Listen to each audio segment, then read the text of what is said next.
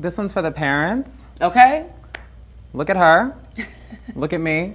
Suppressing your queer kid doesn't do a fucking thing. No. Just so you know. And that's Yeah. the other thing too. My parents still don't accept me, use the right pronouns. They they ref, they refuse. They just won't see it. But I'm me, and I'm happily me. But like this is how I feel like we can start by educating y'all, so we never repeat these things. You know.